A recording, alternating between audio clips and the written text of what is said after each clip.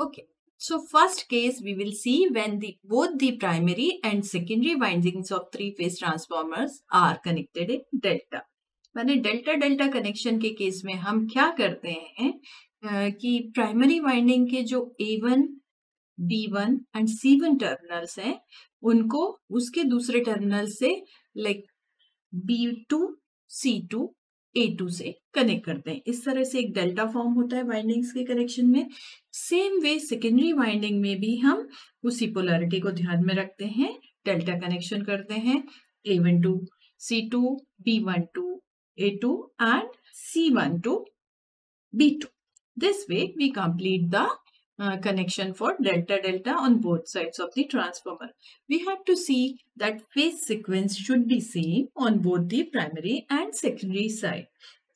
इस तरह से इसके हम डायग्राम में देखेंगे तो all the things should be same polarities should be same and therefore phasor diagram के अंदर यू कैन ऑब्ज़र्व कि जो वोल्टेजेस हैं they are exactly 120 degree displaced माने बैलेंस्ड लोड है और बैलेंस्ड प्राइमरी पर फिर वोल्टेज भी इंड्यूस होगा और जो करंट्स है रिस्पेक्टिव फेजेस में they are lagging behind voltage by angle pi it could be 30 degree और सो और फेजर डायग्राम ड्रॉ करने के लिए हम एक करंट को रिवर्स कर दें।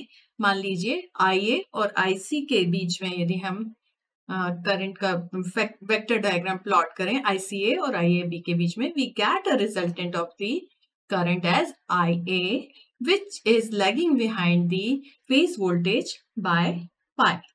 So this way we can draw phasor diagram also. Magnetizing current or voltage drop in impedance can be neglected for being negligible value.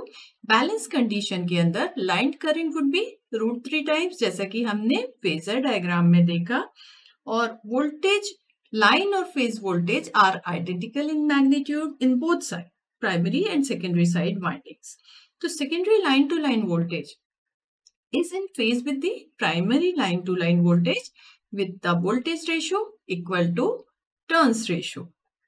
Delta delta connection with 180 degree phase shift is also possible.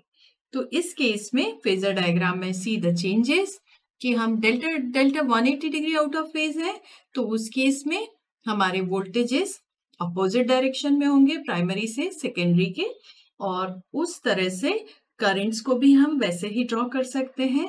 And we can have line currents when the parallelogram method provides the two phase currents to be added up and giving the line currents so this way phasor diagram can be drawn and power factor angle can also be evaluated इस case में delta delta transformer connection में कोई phase shift associated नहीं होती, इसलिए unbalance load या harmonics का कोई इश्यू रेस नहीं होता। So this kind of connection is very safe as far as harmonics are concern तो सबसे पहले एडवांटेज यदि हम इनको लिस्ट आउट करने तो delta delta transformer is very satisfactory for balance as well as unbalanced load और यदि एक ट्रांसफॉर्मर फेल हो गया तो दो बाकी जो ट्रांसफॉर्मर हैं they can continue to supply the three phase power और इस केस में transformer connection is called open delta connection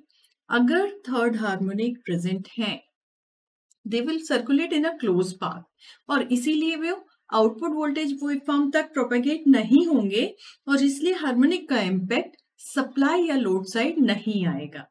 but only disadvantages disadvantage ये है कि डेल्टा डेल्टा कनेक्शन में तीनों फेजेस आपस में इंटरकनेक्ट हो गए तो कोई भी न्यूट्रल पॉइंट अवेलेबल नहीं है। जबकि न्यूट्रल पॉइंट कहीं कहीं हमें बहुत ज़्यादा रिक्वायर्ड होता है specially in case of distribution और ऐसी जगहों पे हम डेल्टा कनेक्शन ऑप्ट नहीं कर सकते। दिस कनेक्शन इज़ यूजफुल जब प्राइमरी और secondary do not need neutral connection और वोल्टेज यदि लो या मॉडरेट लेवल का हो तो हम क्या प्रेफर करेंगे? Delta delta connection otherwise we are having many more combination to opt for as per the application